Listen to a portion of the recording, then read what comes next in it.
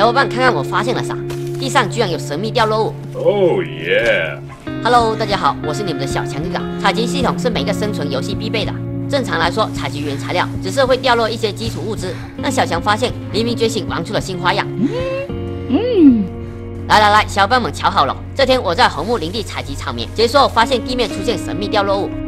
Oh my god! 把它打开，看看里面有啥宝贝。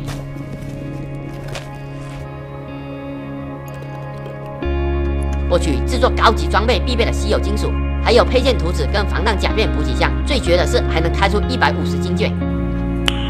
Nice. 我只是单纯采集原材料，居然还会给这么多好东西。要是一直遇到，岂不是宁可也能当大佬了？对了，这神秘掉落物是采集全部资源会掉落，还是只有在采集草莓的时候才会出现？话不多说，赶紧把各种材料都采集一遍。Ready, go! 挖矿。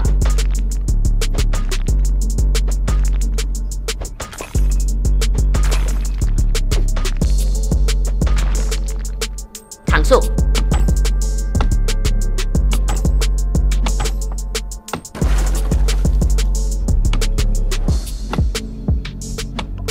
都弄冒烟了，都没看到一次神秘掉落物。唉，采集场面放松下。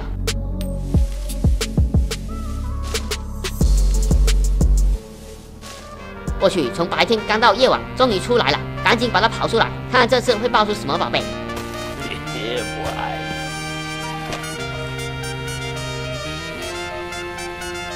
Nice，这次物资比之前的还要高级，虽然没有金券，但有金色品质的碎状，而且这次同样是采集草棉时爆出来的，两次可能不够说服力，但要是连续三次呢？